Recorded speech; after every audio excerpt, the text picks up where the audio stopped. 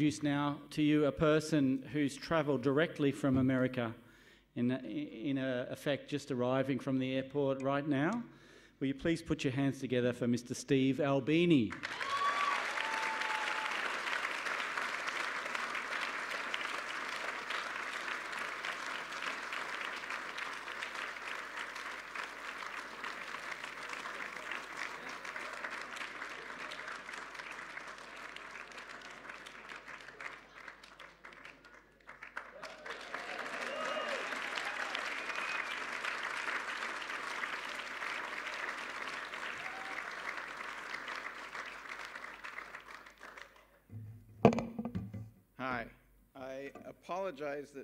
Notes are on my laptop. I didn't get a chance to print them out before I came here.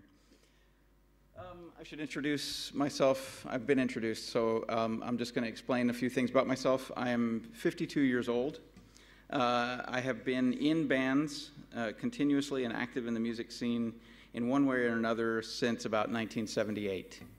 Um, at the moment, I'm in a band. I also work as a recording engineer and I own a recording studio in Chicago. In the past, I have also been a fanzine writer, um, a radio and club DJ, concert promoter, and I ran a small record label. I was not terribly successful at any of those things, but I have done them. So they qualify as part of my CV. Um, I work every day with music and with bands, uh, and I have for more than 30 years. Uh, I have made a couple thousand records for independent bands and big rock stars, for big labels and small ones.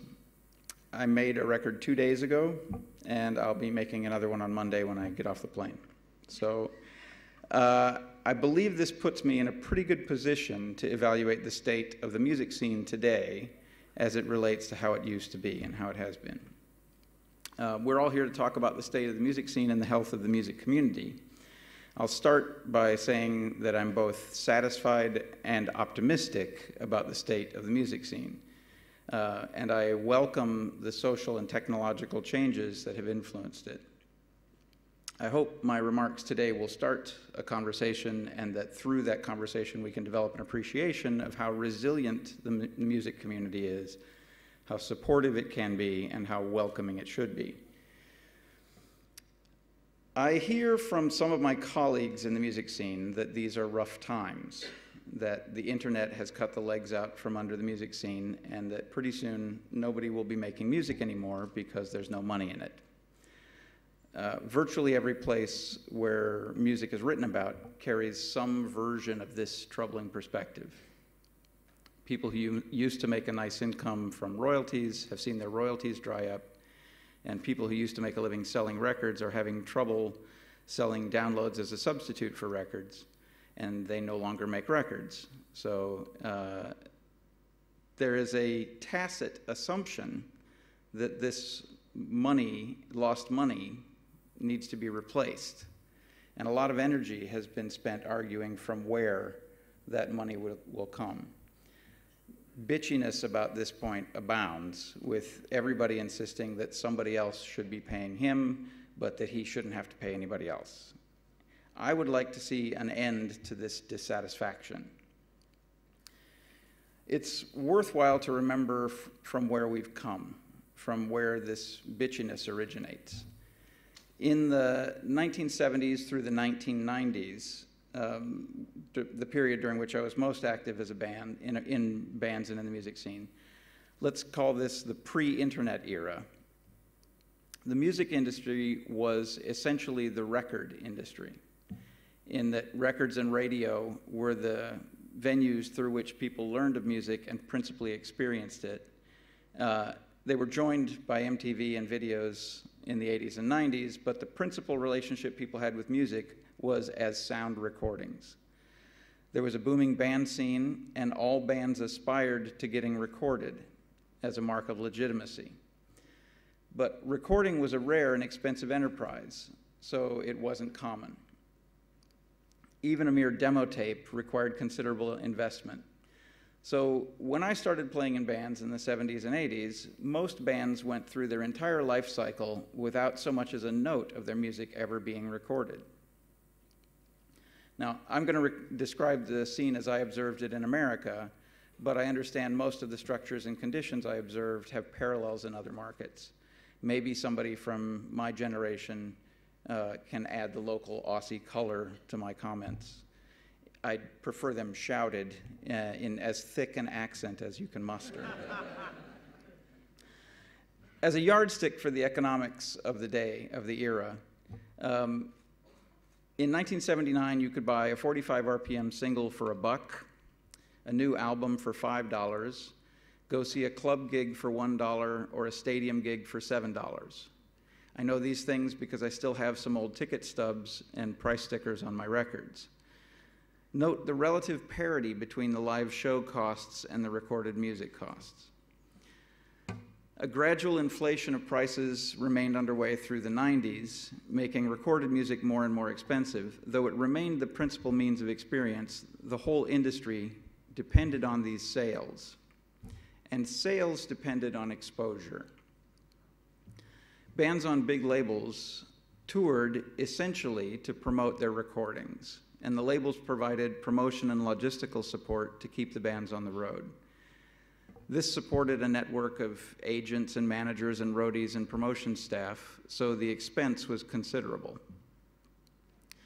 Retail off outlets where records were sold also offered special placement and promotion. Displays, posters, mention in print ads, giveaway trinkets, and what were called end cap displays. Record labels paid handsomely for these promotions, and the stores used the promotion, the sale of these promotions as additional income. Chain stores especially re- relied on corporate income from chain-wide promotions, regardless what the stores might think their local clientele would like. It wasn't uncommon to see big displays of hair metal bands in urban outlets where they couldn't sell a single stick, but the labels had paid for their futility, so up they went. Radio stations and their programming were enormously influential. Radio was the only place to hear new music for many people, and record companies paid dearly to influence them. Direct payola had been made illegal, but it, this was a trivial workaround. Record pluggers acting as programming consultants were the middlemen. They paid radio stations for access to their programmers and conducted meetings where new records were promoted. These promotions offices were quite lucrative, but their metrics depended on radio stations reporting that they had added the record to their playlist. To satisfy this requirement and keep the promotional money flowing, radio stations often played tiny fragments of songs, jumbled one after another in an incomprehensible flow, during late night programming hours to satisfy the requirement that they add songs to their playlists. Popular radio stations also staged mammoth concerts, often for free or for a nominal cover, featuring bands that the labels were promoting. These unpaid radio gigs were a drag on the touring income, but the promotional value was presumed to be worth it. Journalists and editors who could place reviews program directors and independent DJs who could add records to playlists or play them in nightclubs were subject to much buttering up. Promotional trinkets and advance copies of records were sent their way, sometimes by the box. Presumably, these were listening and file copies, but they were actually a bribe. These promotional copies were immediately sold secondhand to record stores and it was not uncommon for such stores to be overstocked with a new release prior to its official release as a result. My wife worked at a record store that bought records secondhand in the 90s, and their biggest repeat customer by, customers by a long shot were the people on these label promo lists. The staff at her store kept a tally for a while, and the editor of the local weekly's music section made a comfortable second income amounting to $1,000 or more or more a month selling his promo copies. So it was a leaky system, riddled with inefficiencies, but a lot of people made a living through it. Record store owners, buyers, employees, ad agencies, designers, pluggers, label reps, A&R, producers, recording studios, publicists, lawyers, journalists, program directors, distributors, tour managers, booking agents, band managers, and all the ancillary services they required banking, shipping, printing, photography, travel agencies, limos, spandex wardrobe, cocaine dealers, prostitutes. and because of this great bulk of the industry needed to sustain itself, every facet of the industry was tailored to this need. The most significant bit of tailoring was an accounting trick called recouping costs. The costs of making a record, the cost of making a record wasn't borne by the record label, except initially. Those costs were recouped or taken out of the income the band might otherwise earn as royalties. The same was true of all those promo copies, posters, end caps, radio pluggers, and payola men, producers, publicists, tour support, 8x10 glossies, shipping, freight. Basically, anything that could be associated with a specific band or record was ultimately paid for by the band, not by the record label. As the labels shifted from vinyl to CD as the dominant format, the labels could easily sell the CD as a convenient, compact, trouble free way to listen to music. The profit margin exploded and the money got stupid. Retail cost of a CD was half again or double more than an LP, but the manufacturing, shipping, and storage costs were a tiny fraction. The labels even used vinyl's legacy as a tool to increase this profit margin by charging bands for unique packaging despite that CD packaging was designed to be standardized, or preemptively charging back for broken CDs at a rate implying that someone was attacking the inventory with an axe. In the end, the bands operating under this system earned very little from their record sales, unless they were monumental stars. Often enough, bands would conduct their entire careers with a label and never reach the point where they had sufficiently recouped to get paid anything at all. Now, the label made its per piece profit on every record sold and could recoup the cost of any records left unsold. And all those other people got paid using the money that would otherwise have gone to the bands as royalties. Unsurprisingly, those other people also got paid pretty well. It stands to reason that if the label is paying you with someone else's money, the label doesn't need to care how much you charge. During the 90s, there was something of an arms race to see who could write the biggest deal. That is, the deal with the most money being spent on the band's behalf. In a singularly painless contest, the money would either be paid to the band as a royalty, which would take that money out of the system and put it into things like houses and groceries and college educations, or it could be paid to other operators within the industry increasing the clout and prestige of the person doing the spending. It's as if your boss, instead of giving your paycheck to you, could pay that money to his friends and business associates, invoking your name as he did. Since his net cost was the same, and his friends and associates could return the favor, why would he ever want to let any of that money end up in your hands? It was a system that ensured waste by rewarding the most profligate spendthrifts in a system specifically engineered to waste the band's money. Now, bands existed outside that label spectrum, the working bands of the type I've always been in.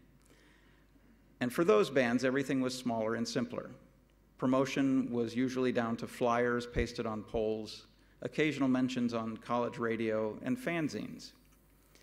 If you had booked a gig at a venue that didn't advertise, then you faced the very real prospect of playing to an empty room. Local media didn't take bands seriously until there was a national headline about them, so you could basically forget about press coverage. And commercial radio was absolutely locked up by the payola driven system of the pluggers and program directors. International exposure was extraordinarily expensive in order for your records to make it into overseas hands, you had to convince a distributor to export them. And that was difficult with no means for anyone to hear the record and decide to buy it. So you ended up shipping promotional copies overseas at a terrific expense, never sure if they would be listened to or not. The one exception to this was the brilliant BBC DJ John Peel. He listened religiously to every single record he, was, he received in the mail, devoting hours of every day to the task. I sent him a copy of the first record I ever made, and not only did he play the record on air, he sent me back a postcard with a personal remembrance of Chicago, of visiting a matron aunt as a child in Evanston, the suburb where my post office, post office box was kept. I treasured that note, and it was the first indication that John Peel was a great man. So these independent bands had to be resourceful. They built their own infrastructure of independent clubs and promoters, fanzines, and DJs. They had their own channels of promotion, including the beginnings of the internet culture that is so prevalent today, that being bulletin boards and news groups. These independent bands even made their own record labels. Some were collectives, and those that weren't were likely to operate on a profit sharing basis that encouraged efficiency rather than a recoupable patronage system that encouraged indulgence. That's where I cut my teeth, in that independent scene full of punks and noise freaks and drag queens and experimental composers and jabbering street poets. You can thank punk rock for all of that. That's where most of us learned that it was possible to make your own records, to conduct your own business, and to keep control of your own career. If a bunch of pimply glue sniffers could do it, we reasoned, then anybody could. The number of records released this way was incredible. Thousands of small releases made their way into the mom and pop independent specialty stores, which then provided a market for independent distribution. It was the beginnings of an alternative to the label paradigm. It was cumbersome and slow, but it was more efficient than the shotgun approach of the big labels, whose answer to every problem was to spend more of the band's money on it. It was the beginning of what you could call a peer network. By the mid 90s, there were independent labels and distributors moving millions of dollars worth of records and CDs. And there was a healthy underground economy of bands making a reasonable income owing to the superior efficiencies of the independent methods. My band, as an example, was returned 50% of the net profits on every title we that we released through our record label. Um, I worked it out, and that earned us a better per piece royalty than Michael Jackson, Bruce Springsteen, Prince, Madonna, or any other superstar operating concurrently. And we were only one of thousands of such bands. So that was the system as it was. That's what we lost when the internet made everything available everywhere for free. And make no mistake about it, we have lost it. There is still an independent label network, but is a slim fraction of what it was. The labels that continue to survive do so by supplying niche music to a discerning audience. And because they have, steeled, they have been steeled in the art of efficiency, their, con their constitution allows them to scale everything to suit the remaining demand. You may have noticed that in my description of the mass market music scene and the industry as it was, pre internet, I made little mention of the audience or the bands. Those two ends of the spectrum were hardly considered by the rest of the business. Fans were expected to listen to the radio and buy records, and bands were expected to make records and tour to promote them and that was about all the thought either group was given. But the audience was where all the money came from, and the bands were where all the music came from. Through the internet, which more than anything else creates access to things, limitless music became, eventually became available for free. The big record companies didn't see any way to make money from uh, online distribution, so they effectively ignored it leaving it to the hackers and audience to populate a new landscape of downloading. People who preferred the convenience of CDs over LPs naturally preferred downloaded music even more. You could download it or stream it or listen from YouTube or have your friends on message boards or acquaintances send you zip files in the blink of an eye, music went from being rare, expensive, and available only through physical media in controlled outlets to being ubiquitous and free worldwide. What a fantastic development. there's a, there's a lot of shade, thrown by people in the music industry about how terrible the free sharing of music is, how it's the equivalent of theft, etc. That's all bullshit, and we'll deal with that in a minute. But, but for a minute, I want you to look at the experience of music from a fan's perspective, post internet. Music that was hard to find was now easy to find. Music to suit my specific tastes, as fucked up as they might be, was now accessible by a few clicks, or maybe posting a query on a message board. In response, I have access to more music than I have ever imagined, curated by other enthusiasts keen to turn me on to the good stuff. People like me who want other people to hear the best music ever. This audience driven music distribution has other benefits. Long forgotten music that has been, has been given a second life, and bands whose music was ahead of its time have been allowed to reach the niche audience that the old mass distribution model failed to find for them as one enthusiast turns on the next, and this forgotten music finally gets its due. There's a terrific documentary about one such case, the Detroit band Death, whose sole album was released in a perfunctory edition in, I believe, 1975, and disappeared until a copy of it was digitized and made public on the internet. Gradually, the band found an audience. Its music got lovingly reissued and the band has resurrected itself, complete with tours playing to packed houses, and the band is now being allowed the career that the old star system had denied them. There are hundreds of such stories, and there are specialty, specialty labels now that do nothing but reissue lost classics like that once they surface. Now look at the conditions from a band's perspective, the conditions faced by a band.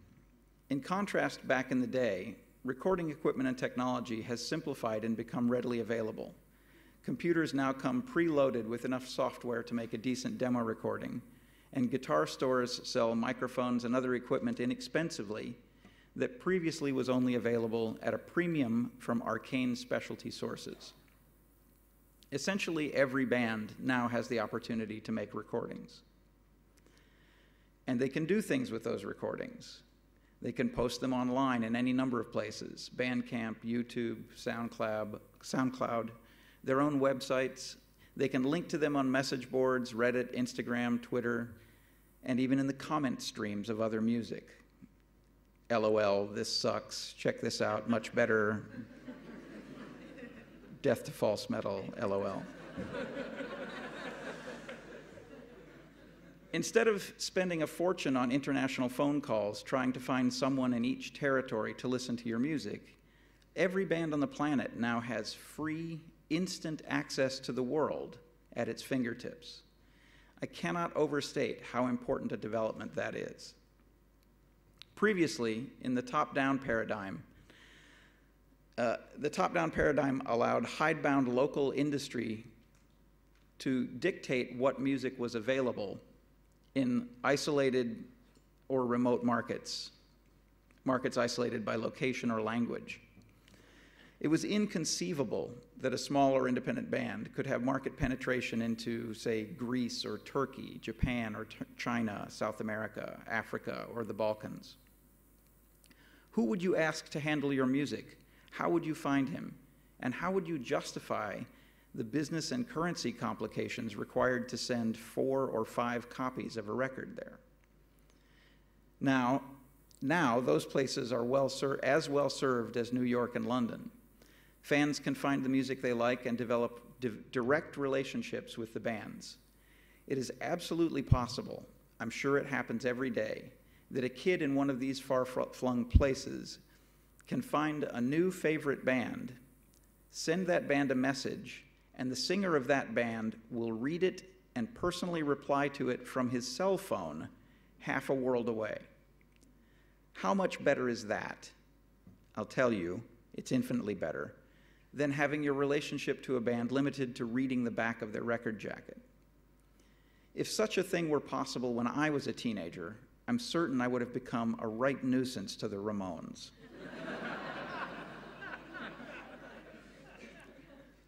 A couple of years ago, my band mounted a tour of Eastern Europe.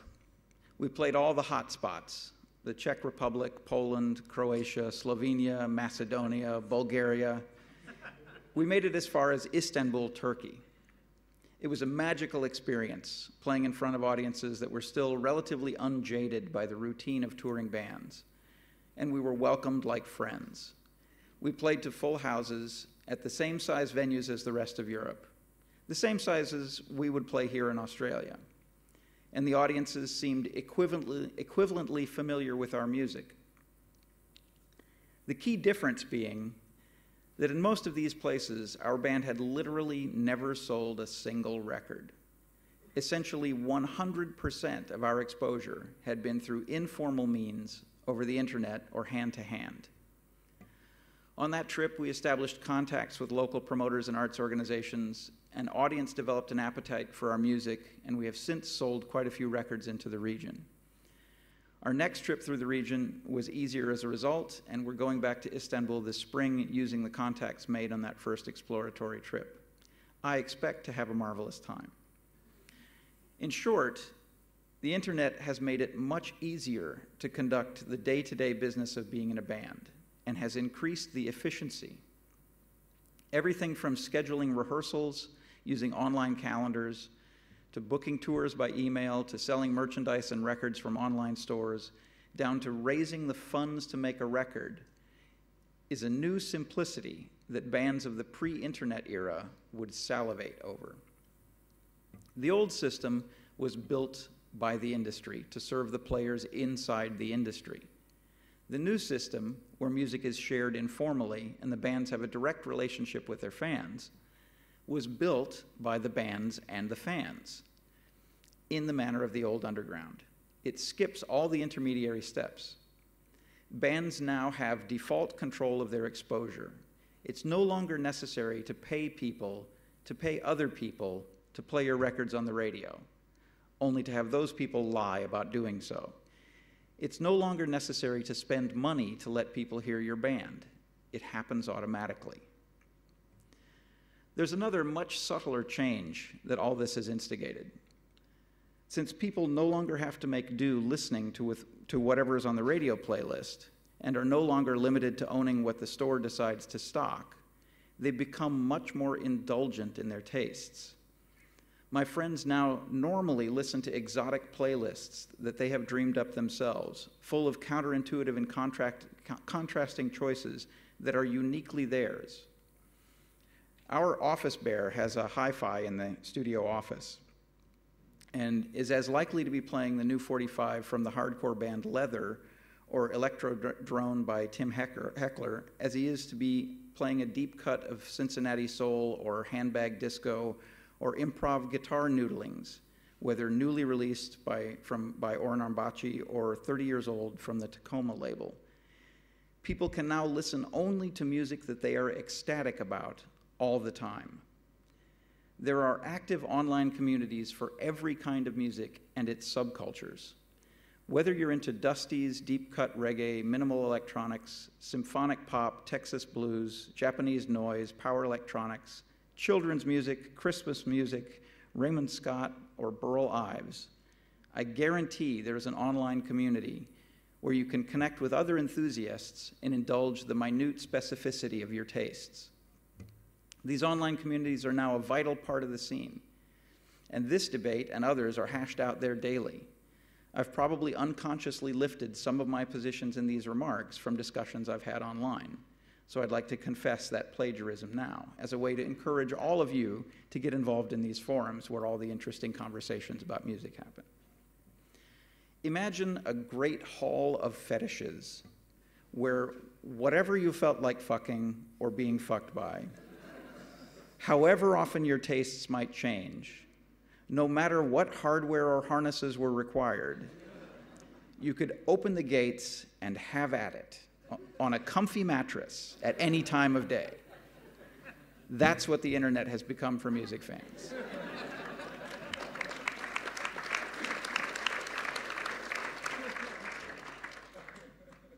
Plus bleacher seats for a cheering section. As a result, Fans are more ardent of this music. They are willing to spend more on seeing it played live. They are willing to buy more ephemera and eager to establish a personal relationship with the people who make the music. Gig prices have escalated as a result, and the merchandise tables at gigs are universally teeming with activity. Back home, gigs that used to cost five or six bucks are now 20 or 30. Over here in Australia, the ticket inflation has been more pronounced, with club gigs going for $80 or more. As a result, gig income for bands has ex- increased exponentially. My band has been playing a lot of the same places for the entirety of our existence, over 20 years now. I guess you could say we've saturated our audience, no matter how long we stay at it. Some of these perennial gigs are now paying, paying an order of magnitude better than they were 10 or 15 years ago.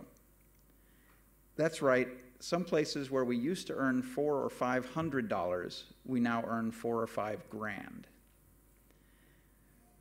This ease of access, redoubled interest, and increase in income has created new partnerships and possibilities between in individuals, bands, and visual artists, online filmmakers, choreographers, and other kinds of public, public people. Collaborations take place in real time or displaced over the internet, with the parties often never meeting face to face. I have a dear friend who found himself with a bunch of time on his hands last year, so he formed a couple of new bands. One of these bands was entirely populated by people he only knew online, and all of their music was made by online collaboration. This music was a pure result of the interconnectivity of the internet.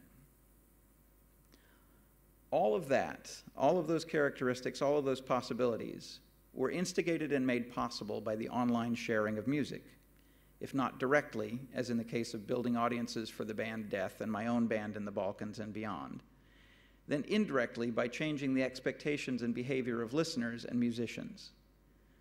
This explains my enthusiasm for the way the music scene has changed. But what about my optimism? I would like to address a platitude about the online exposure of music. From all quarters, we hear that this is the platitude. We need to figure out how to make internet music distribution work for everyone. I used finger quotes to indicate uh, distance, intellectual distance between myself and the quotation. I have a friend, Tim Midgett, who uses three fingers for finger quotes to indicate extra irony.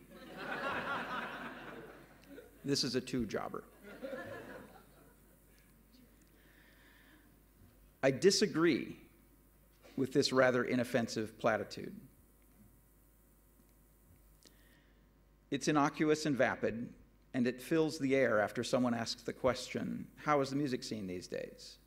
And it maintains hope that the current state of affairs, as mentioned, presumed to be tragic, can be changed for the better for everyone. That word everyone is important to the people using this sentence. In their mind, the physical distribution model worked for everyone, but the new one doesn't. Not yet. Not until we figure it out. I'm sure we're all, we're all going to get tired of me doing that. I disagree that the old way was better, and I do not believe this sentence to be true.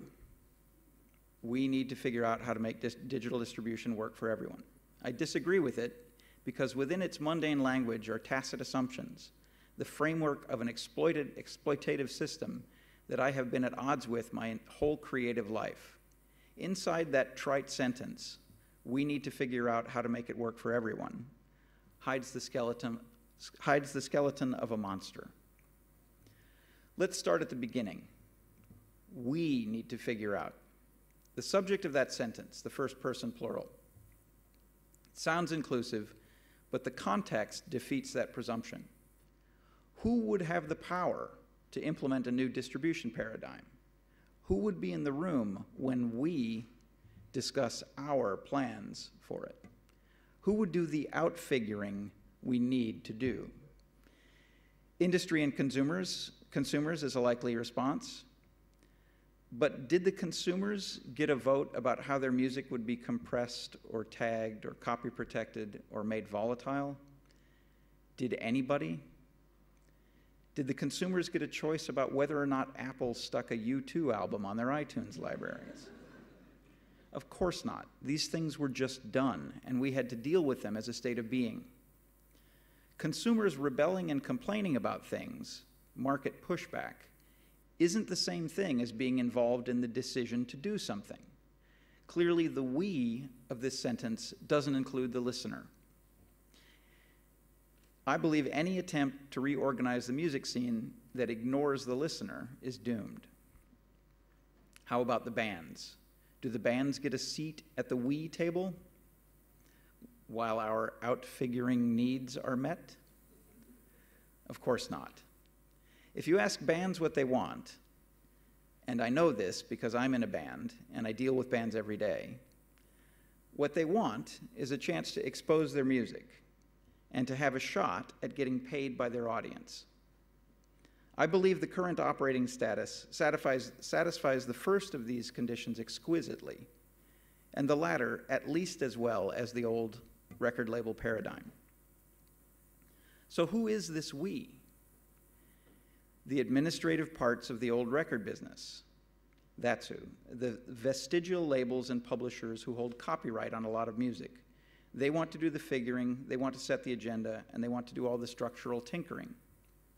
The bands, the audience, the people who make the music and who pay for it, they are conspicuously not in the discussion. How about the word need? We need to figure out. The need is actually a want, a preference. The, these remnants of the music industry are unsatisfied with how the internet, the bands, and their audience can get along fine without them. So they prefer to change things to reestablish relevance. You see this in the spate of 360 deals that are being offered now, where everything a band does, from its music to its t shirts to its Twitter account, belong to the record label. In exchange, the label offers startup money I believe this approach is doomed by things like Kickstarter, which have proven more effective and efficient at raising money directly from the audience that wants to support the music. How about the infinitive to figure out? We need to figure out. That presumes that we can know how to attack a global distribution enterprise long after the internet has crowdsourced an efficient and painless way to do precisely that. There's a reason the water faucet hasn't changed radically over the years.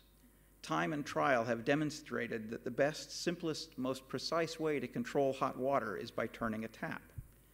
Problem solved, no further solving of the hot water faucet problem is required. I cannot be the only one who is annoyed by the constantly misaligned proximity faucets in public washrooms. Imagine if listening to music was as frustrating as that. The next part of the sentence make distribution work. This implies that we have control of the distribution, that we can make it do some things but not others. Time and again, the internet proves this to be a fallacy. Once we release music, it is out of our control. I use the verb release because it's common vernacular, but I think it's a perfect description. Even more apt if you consider what happens when you release other things, say a bird or a fart. When you release them, they're in the world, and the world will react to them and use them as it sees fit. The fart may wrinkle noses until it dissipates, the bird may fly out of sight, may crap on windshields, may get shot down by a farmer. It's been released, so you have no control over it. You can't recall the fart, however much you would like to. You can't protect the bird. Distribution is a problematic word. Its prior meaning implied scarcity and allocation of physical products. You could inventory them, you could tax them and duty them, you could search somebody's book bag for them. None of that is true with digital files. if it were possible to return digital files to the strict control of the record labels. It isn't possible, don't worry. What would be their incentive to be honest in their accounting? In the physical distribution model, you could inventory the titles in the warehouse during an audit and compare them to the delivery manifests from the press manufacturing plant and know with reasonable accuracy how many copies had been sold. How on earth would you inventory a digital file? Count how many were left on the shelf? That word is problematic. The most problematic word in the sentence is the word work. We need to learn how to, we need to figure out how to make it work. Work is an impossible word in this context. Depending on who uses it, it will have contradictory meanings. For a label, the system would work if it generated a profit per play, controlled access to the music while providing access to the audience for advertisers as an additional income, and allowed the availability of push marketing for pr promotion. For the listener, it would mean open access, ability to find specific and niche music, continuous playback, lack of nuisance, ease of use, freedom from spying, low or no cost, utility on different devices, lack of push marketing, and lack of advertising. For a band, it would mean finding an audience and having no barrier to participation and no limits on the amount, of material made available. You can see how this is problematic. It is literally impossible for a system to satisfy all of those needs simultaneously when they are contradictory. And the hybrid approaches being tried are clumsy and insulting. I recently tried streaming a podcast from an official licensed site. When the cats started fighting, I missed a little bit, having to separate the cats and then feed the cats and calm them down. I came back to my computer and tried to replay the last few minutes that I had missed, but was greeted with a notice that due to copyright agreements, this player was not allowed to rewind the podcast. I find it unimaginable that the people who posted their podcast wanted that provision enabled. And the site just ensured that I would never bother with their product again. The conclusion of that sentence, the for everyone, is also problematic. I don't believe it is necessary or even preferable to have everyone involved in defining the experience of music, or more generally, the relationship between a band and its audience. The we seem to accept that record stores, who were once the welcoming face of the industry and the recipient of much promotional patronage described earlier, are not coming along in the digital era. Record stores now get their appeal from carrying secondhand records, something the industry used to have a regular shit fit about, and by carrying specialty and niche material that's too marginal for corporate attention. They're, they are clearly not part of the everyone in that sentence. So, so there's no reason to insist that other obsolete bureaus and offices of the lapsed era be brought along into the new one. The music business has shrunk. In shrinking, it has wrung out the middle, leaving the bands and the audience to work out their relationship from the ends. I see this as both healthy and exciting. If we've learned anything over the last 30 years, it's that left to their own devices, bands and their audiences can get along fine. The bands will figure out how to get their music out in front of an audience, and the audience will figure out how to reward them.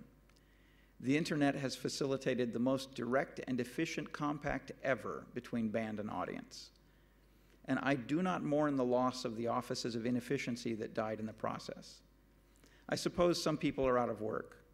But the same thing happened when the automobile replaced the horse, and all the blacksmiths had to adapt, spending their time making garden gates rather than horseshoes.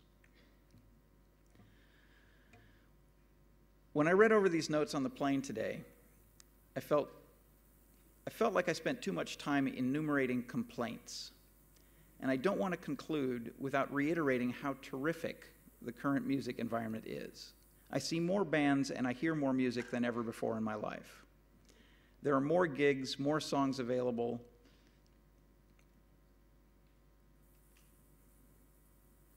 Than ever before. Bands are being with, treated with more respect and are in more control of their careers and destinies. I see them continuing as a constellation of enterprises, some big, some small, most small, but all of them with more immediate response from their audience and a greater chance to succeed. It is genuinely exciting. I've been talking an awful long time, but I have not yet mentioned the intellectual property debate. I will try to get that out of the way briefly now. I would like to leave room for some questions after I speak. And though I am leaving out a lot publishing, stolen credit, sampling, fair use, inspiration I suspect that there will be a healthy discussion afterward, and I think such discussions are necessary and overdue. For my part, I believe the very concept of exclusive intellectual property with respect to recorded music has come to a natural end, or something like an end. Technology has brought to a head the need to embrace the meaning of the word release, as in bird or fart. It is no longer possible to maintain control over digitized material, and I don't believe the public good is served by trying to. There is great public good served by letting creative material lapse into the public ownership, but copyright law has been modified so extensively in the last decades that now this essentially never happens, creating absurdities whenever copyright is invoked. There's a huge body of work that is not legally in the public domain, though its rights holders, authors, and creators have died or disappeared as businesses. And this material is, from a legal standpoint, now removed from our culture. Nobody may copy it or re release it because it's still subject to copyright. Other absurdities abound. Innocuous usage of music in the background of home videos or student projects is technically an infringement, and official obstacles are set up to prevent it if you want a video of your wedding reception. The father's first dance with the new bride is off limits unless it is silent. If your little, little daughter does a kooky dance to a Prince song, don't bother putting it on YouTube for her grandparents to see, or a purple dwarf in assless chaps will put an injunction on you. Did I offend the little guy? Fuck him. His music is poison and he hits women. Music has entered the environment as an atmospheric element like the wind, and in that capacity should not be subject to control and compensation. Well, not unless the rights holders are willing to let me turn the tables on them.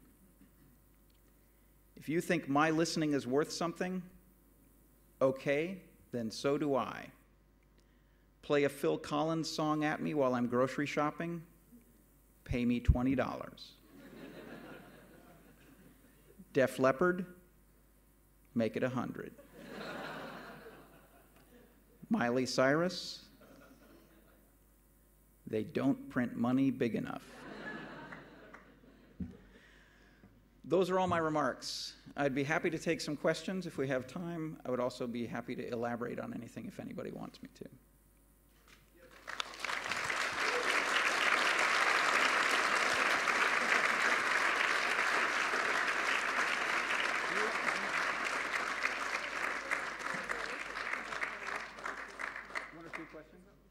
Okay.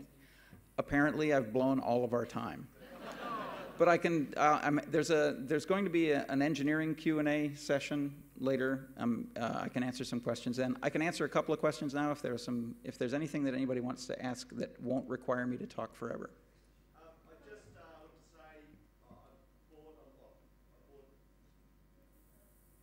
It's just a prop.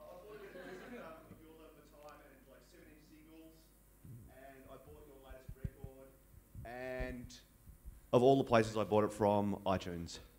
And I was just really quite surprised by it because I didn't expect it. And that's where I went to look. It's the only record I've ever bought on iTunes. and there it was.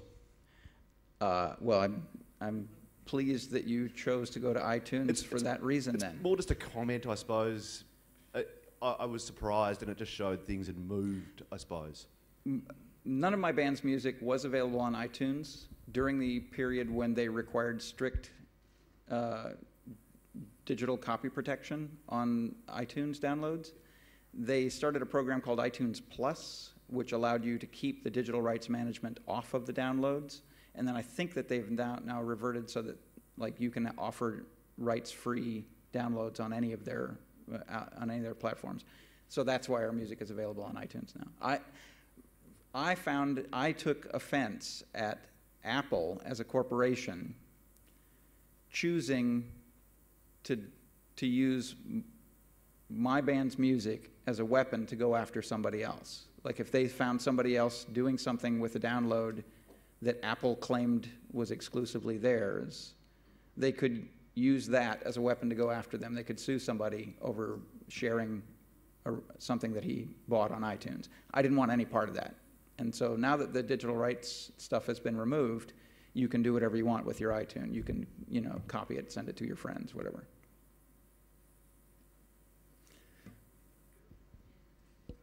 Come on, one more. Okay, one more. I've got one, Steve. Hit me. Um, it sounds like you're advocating some type of digital utopian technological socialism. No, I'm, I, what I'm doing is acknowledging that the way, th- the way things are is working, and the, and the way things are is like that.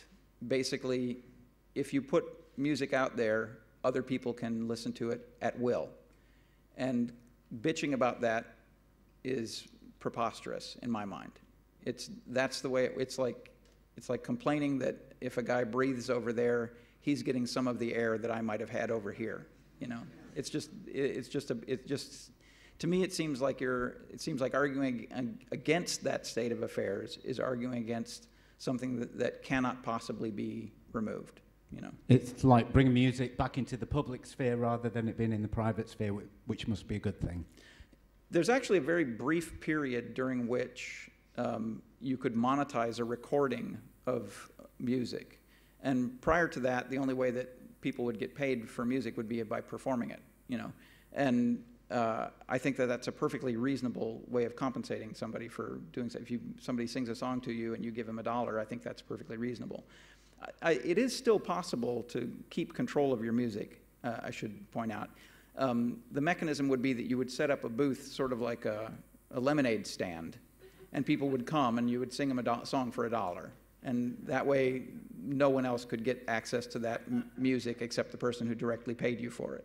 That's a per- still a perfectly valid business model.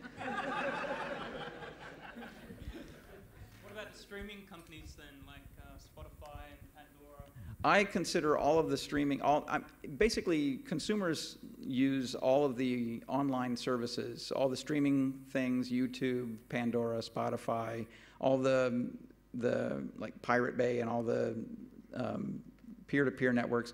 People treat all of those things as equivalents. They use them all essentially the same way. Um, they're just another kind of radio. They're a kind of radio where you get to pick what plays. And I, I personally am not fussed about, uh, about those companies existing or those, those sites existing. And, you know, they're providing a service. Of course they're going to make some money. That, that's perfectly reasonable. It doesn't bother me at all. Our music is on Spotify as of last week. Um, we, did, we did do something that I'm quite, fond, quite proud of. Spotify is very strict about arranging licenses for their music. And I'm very strict about not signing anything ever, right? So we've engineered uh, a, an instantly revocable license because we haven't signed anything. We haven't agreed to let them use our music. We just haven't stopped them from doing it.